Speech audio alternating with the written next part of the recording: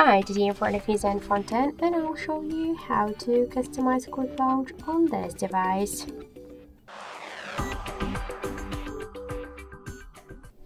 So now by double press to the power key button we could activate the camera app but if you wanna open for example the front camera or just to uh, make another just action or you should open first the settings then scroll down to the uh, scroll to the advanced. Tap here to the screen off shortcut. And here switch open camera for example to record video open front camera or tap to quick shot. And now uh -huh. so quickly launch the camera and shoot three photos. For example let's use the record video option. So now let's just lock the device. Let's press twice to the power key. And we could see that the video successfully just activated.